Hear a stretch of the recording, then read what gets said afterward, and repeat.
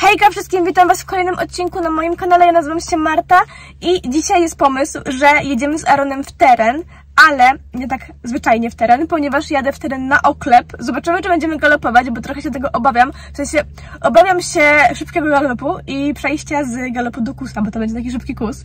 No ale zobaczymy, jedziemy w teren. Strasznie żałuję, że nie mam GoPro do tego filmu, bo z GoPro byłoby na pewno o wiele fajniej, no ale trudno.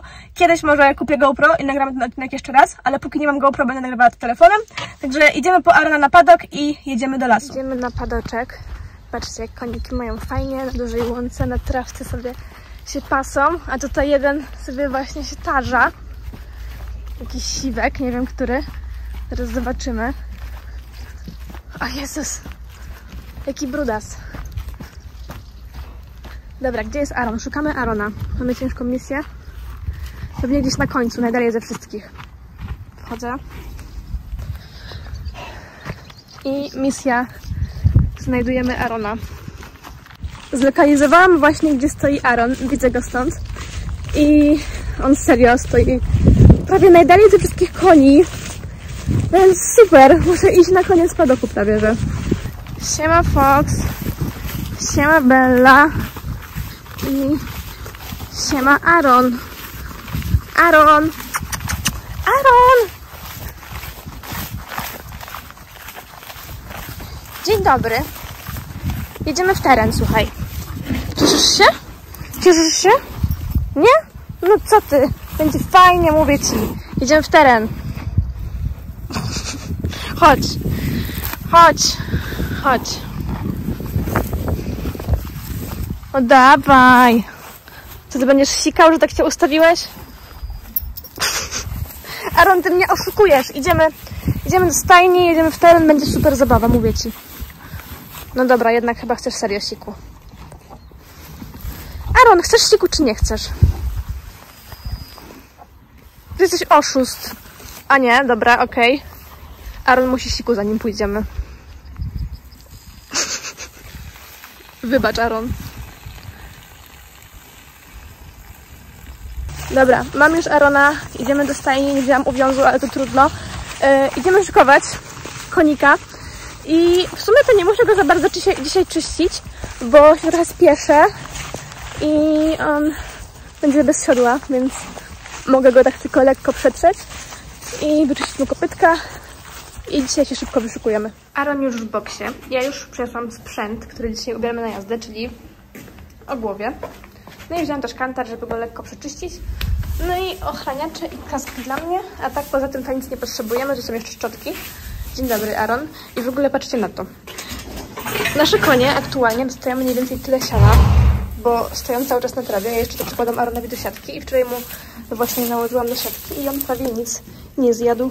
No, a koniki jedzą tak mało dlatego, że stoją po prostu od rana do wieczora na trawie i są tak obżarte trawą, że one w ogóle już nie chcą siana jeść, bo są tak najedzone. Ja wstawiam Arona do boksu i zawsze jak przychodzi do boksu, to pierwsze co, to się rzucało na siano. Tak teraz yy, przychodzi do boksu i się patrzy. Tak stoi. Aaron już prawie osiodłany. Nasmarowałam mu jeszcze kopytka, by miał mega suche, więc jeszcze tylko ubieramy mu o głowie. I jedziemy w teren. Muszę znaleźć jakieś miejsce, gdzie będę mogła wsiąść na Arona bez yy, siodła, a to nie jest takie proste. I ubrałam jeszcze Aaronowi maskę, bo uznałam, że w terenie yy, pewnie będą gryzły owady, więc oprócz tego, że go sprzykałam sprayami, to jeszcze mu założyłam maskę, żeby było mu wygodniej. Dobra, znalazłam tutaj kamień, więc będzie misja wsiąść na Arona z tego kamienia. Trzymajcie kciuki. Dobra, widzowie. Udało się, siadłam z kamienia. Jedziemy, Aaron. Nie na plac, nie na plac, nie na plac. Mm. Tutaj. Jedziemy. Dobra, jesteśmy już z Aaronem w lesie, stępujemy sobie i powiem Wam, że trochę jestem zestresowana, dlatego, że ja nigdy w sumie nie byłam na Aronie i na żadnym innym koniu w terenie na oklep, tak wiecie, w 100%. Byłam tylko na jakimś pławieniu albo, nie wiem, na jakichś zdjęciach na oklep, ale nigdy nie byłam tak, że całą godzinę jadę na oklep w teren, galopuję, kursuję i wszystko. To jest mój totalnie pierwszy raz i jestem ciekawa, czy będę umierać po tym. I strasznie żałuję tego, że nie wzięłam ze sobą krótkich spodenek, bo w sumie skoro jedę na oklep, to mogłam brać krótkie spodenki, a ja jestem w bryczesach. Jest mi mega, mega gorąco, no ale trudno, jakoś to przeżyję. No I sobie teraz wstępujemy. Niedługo będziemy kursować, później galopować i będę wam wszystko na bieżąco relacjonować. I zobaczycie, czy będzie git, czy nie. I trzymajcie za mnie kciuki, żeby było jak najlepiej. A dzisiejsza pogoda jest po prostu przecudowna, tak? Mega świeci słoneczko. Jak tylko wrócimy z Aaronem z terenu... O Jezu, swędzi, swędzi, strasznie swędzi. Jak tylko Aaron... Aaron nie. Jak tylko wrócimy z Aaronem z terenu, to pierwsze co, to biorę go na myjkę i zlewam go wodą, bo jest mega gorąco i podejrzewam, że on się mega spoci. I ja też będę miała jego pot na sobie, na bryczesach. Więc no, będzie ciężko i będzie bardzo ciepło, no ale damy radę. Prawda, Aaron? Aaron, słuchaj, mam dla ciebie całą kieszeń smakołyków. Stój. Aaron, co ja mam? Jedzonko? Głodny koń? No raczej. Proszę, idziemy. Idziemy.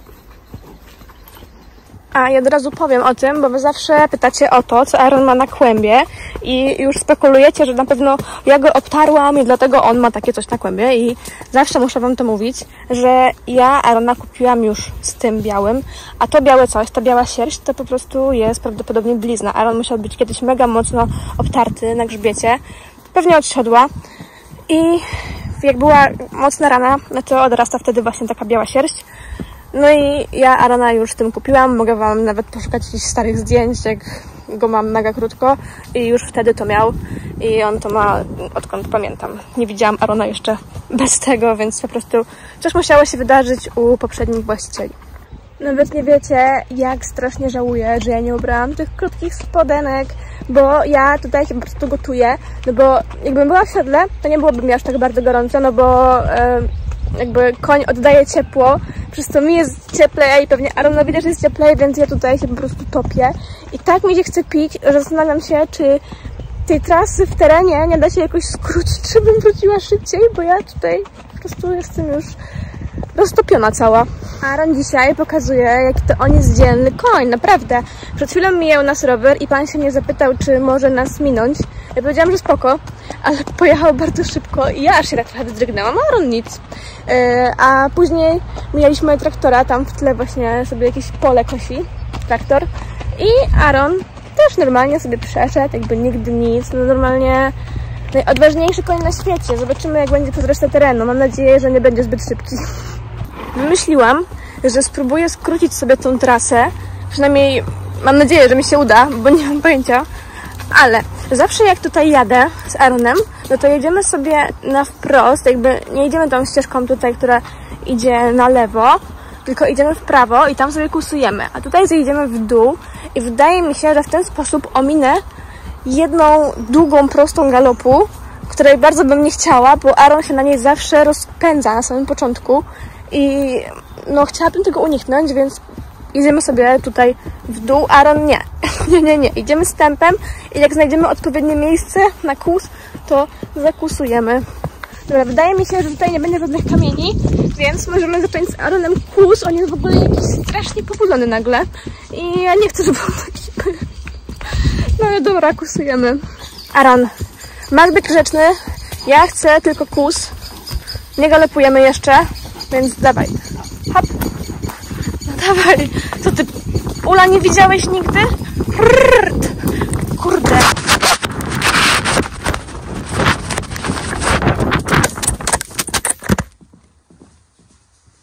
Słuchajcie widzowie, żeby nie było, nie spadłam, nie spadłam. Aaron się przestraszył tych uli i nagle wystrzelił mi takim mega szybkim galopem. Zaczął mi brykać w ogóle na oklep, dał głowę między nogi i zaczął sadzić barany. Ja jestem teraz zestresowana. Ja go zatrzymałam, trochę tak na hama, ale go zatrzymałam. No ale w międzyczasie wypadł mi telefon. Ale nic się nie stało, nie potukł się, ale teraz muszę znaleźć jakieś miejsce, żeby na niego wsiąść. Bo jestem w środku lasu i muszę znaleźć miejsce, gdzie uda mi się jakoś wdrapać się na Arona i to będzie na pewno ciężkie wyzwanie, bo nie ma tu żadnych pni, ani górek, ani nic. Nie, ten teren na ogląd to był zły pomysł. Aaron, od kiedy ty się boisz uli? On to zrobił specjalnie. On to zrobił specjalnie, bo on wiedział, że ja mam teraz trudniej, bo nie mam siodła. Prawda, Aaron? Ale mi się łapa trzęsie, nawet widać chyba po kamerze, że mi się łapa trzęsie, bo naprawdę się zestresowałam, że on poleci gdzieś w drugą, ja spadnę i że będę go potem szukać. Widzowie, patrzcie co ja mam. Co znalazłam. Mam tutaj jakieś pnie i z tego najwyższego pnia chciałabym wsiąść na Arona, więc idę do niego i włączam nagrywanie, bo będę musiała mocno wstrzymać Arona, bo podejrzewam, że on jest teraz tak nagrzany, że będzie mi ciężko w ogóle na niego wsiąść. Dobra, jesteśmy. Siedzę, Aaron już się trochę uspokoił i idziemy dalej. Fokusuję chwilę teraz bez nagrywania, żeby zobaczyć jak on się zachowuje, jak będzie git, to wam ponagrywam trochę kusa i poszukamy miejsca na galop. Dobra, chwilę sobie pokusowaliśmy. Aaron jest yy, taki hej do przodu trochę, yy, jakby to powiedzieć. No i yy, muszę go cały czas trzymać, ale myślę, że już na drugim kusie uda mi się coś tam nagrać i już nawet wymyśliłam, gdzie zagalopujemy, bo pojedziemy sobie w taką uliczkę i skręcimy jakby pod prąd tej trasy, co zawsze jeździmy. Więc on nie będzie się tak bardzo orientował, chyba że tam zawsze jest galop w tym miejscu, gdzie chcę zrobić galop. I zrobimy po prostu jeden galop i na tym przystaniemy i postaram wam się nagrać ten galop, bo mówię, nie chcę więcej galopować, bo on jest dziwny dzisiaj, a ja jestem bez siodła i nie chciałabym spaść, więc zrobimy taki króciutki galop na jednej prostej, ale to później. Najpierw zakusujemy sobie gdzieś, jak będzie miejsce, tylko nie tutaj, bo tu są kamienie. Ale wiecie, co wam powiem? Że to jest właśnie ten dzień, kiedy ja strasznie żałuję. Jezu, na co on tak patrzy? Aaron, idziemy, idziemy. To jest właśnie ten dzień, kiedy ja strasznie żałuję, że nie mam tego GoPro, no bo czajcie, jaki byłby super film, jakbym nagrała z GoPro, jak Aaron mnie ponosi i bryka, jak jestem na okle, przecież to by było mega ciekawe, ja uważam. No i muszę kupić to GoPro, bo wtedy filmiki z terenów będą o wiele lepsze. No i w sumie nie tylko z terenów, bo bym mogła też nagrywać jak e, sobie jeździmy po prostu parkour z GoPro i tak dalej, więc mój cel, na który muszę nazbierać kasę, to jest właśnie kamera GoPro i jak ją kupię, to będzie mega dużo filmów z nią, a szczególnie filmów z terenów. Dobra, widzowie, kusujemy! Jezus, ja nie wiem, czy ja nagram ten galop. To może być trudne, ale postaram się to zrobić dla Was specjalnie. Ale serio, będzie na pewno kawałeczek tylko nagrywanie, będąc wtedy na oklep, to jest naprawdę ciężkie wyzwanie, kiedy Wasz koń się jakoś tak dziwnie nakręca cały czas. Nie wiem, o co mu chodzi. Dobra, zbliżamy się do tej prostej, gdzie ja będę galopować i uznałam, że zrobię tak. Przyjadę po niej raz, tak bez telefonu, zobaczę jak będzie. Zawrócę, wrócę kusem i przejadę ją jeszcze raz, nagrywając Wam, bo boję się od razu wystartować galopem, trzymając telefon w ręku, a konia trzymając tylko jedną ręką. Więc najpierw chcę ocenić, jak Aaron się zachowuje w ogóle w tym galopie i jak ja się będę na nim trzymać. Jesteśmy po tym pierwszym galopie i jestem w sumie mega zadowolona, bo Aaron był strasznie grzeczny.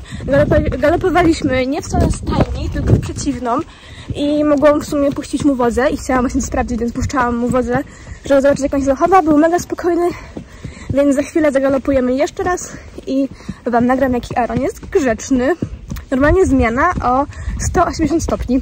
Wydaje mi się, że on był taki nakręcony, bo byliśmy w zupełnie innej trasie niż on zawsze jeździ i po prostu był taki, wiecie, nowe miejsce i taki nafurany, a teraz jak już jest tak w miejscu, które zna i idziemy w przeciwnym kierunku niż stajnia, to się zrobił już taki spokojny i taki nie jest nakręcony, więc wydaje mi się, że to była tylko kwestia tego, że był gdzie indziej niż zawsze i się troszeczkę pobudził, a ja pewnie na oklep też jestem trochę bardziej spięta, dlatego mieliśmy taką nieprzyjemną jedną sytuację.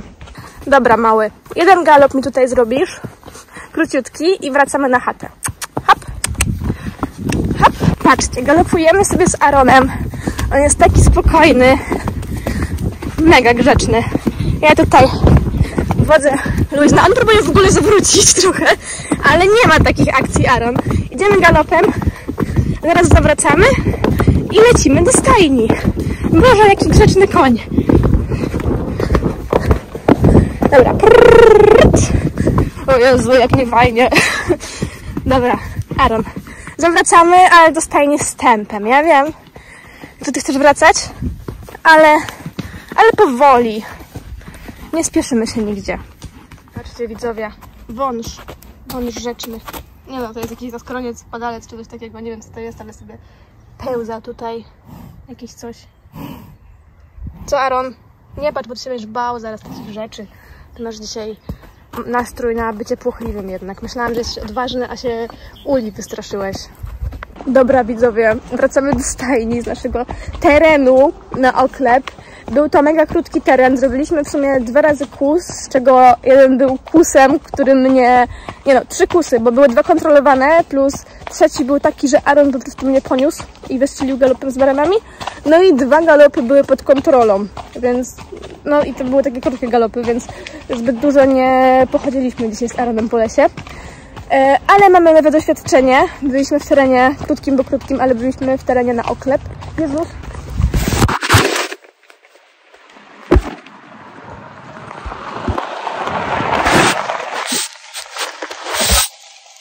Musiałam schować telefon mega szybko i złapać Arona trochę krócej, bo ktoś tak szybko jechał autem przez las, że ja się bałam, że w nas wjedzie, ale już pojechał, ale zostawił ze sobą trochę kurzu. Nieważne. Byliśmy e, w terenie na oklep, więc mamy nowe doświadczenie. I następny teren, taki bardziej ekstremalny, w który pojedziemy, to będzie teren na Cordeo, ale yy, nie wiem, czy będzie tam w ogóle galop. Możliwe, że Aaron mnie znowu poniesie. Najpierw sobie pojedziemy trochę jeszcze w tereny na Ogłowiu i jak będzie w porządku, no to pojedziemy jeszcze na Kantarze i pojedziemy później na Cordeo i trzymajcie kciuki, żeby mnie Aaron nie zabił w tym terenie. No i widzicie, wy chcecie, żebym ja jechała na Aronie w teren na oklep i na Cordeo, a na Cordeo już ja mam problemy, w sensie na oklepie już mam problemy.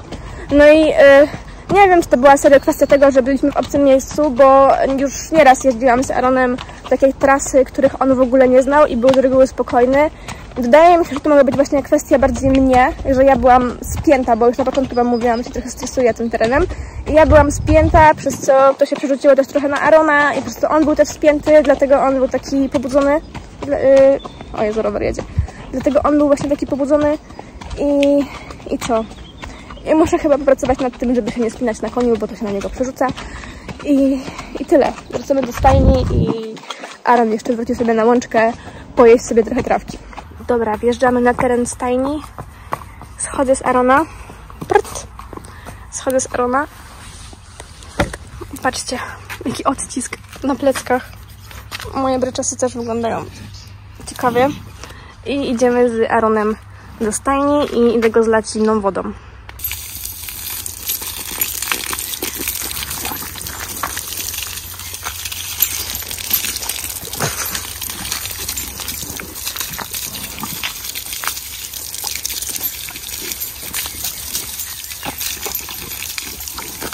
Dobra, jestem już w stajni. W sumie chciałam wam jeszcze podsumować ten film, ale wydaje mi się, że nie ma co, bo już podsumowałam to będąc na koniu. Aaron jest już na trawce, zlałam mu nóżki wodą i całego w sumie go zlałam wodą. I będę jechać do domu, więc jeszcze chciałam się z wami tylko pożegnać, więc jeśli wam się podobał film, to pamiętajcie o łapce w górę i o subskrypcjach i widzimy się w kolejnym filmie. Pa, pa!